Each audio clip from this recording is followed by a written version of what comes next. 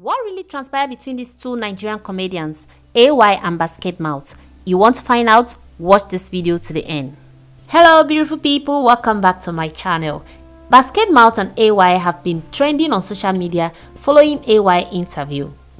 AY explained his side of the story and what transpired between him and Basketmouth 17 years ago.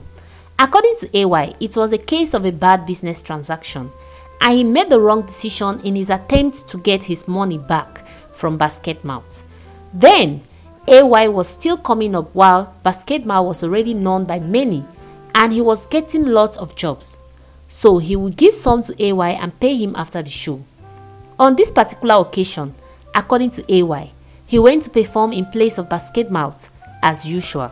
Initially, the people were not happy because they were expecting Basketmouth but after his performance, they were all happy and he left joyfully hoping to get his pay from Basketmouth as usual.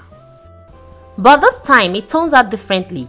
He waited for days, nothing showed up. He called Basketmouth to ask him how far, but he told him they haven't paid him for the job yet, that they were not pleased with AY's performance. AY was confused and he decided to put a call across to them only for him to find out that Basketmouth had received full payments even before the event. Taking you back to a few years ago when Basketmouth was asked what went wrong between him and his colleague AY, he simply said he messed up. He didn't go into details like AY did. Now my question is, who among the two did the wrong thing, AY or Basketmouth? And was it really worth this beef between them for the past 17 years? Drop your comments in the comment section guys and let us hear from you. What do you think about this whole beef between AY comedian and Basketmouth?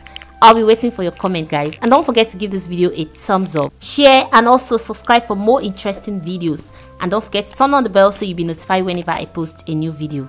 Thank you.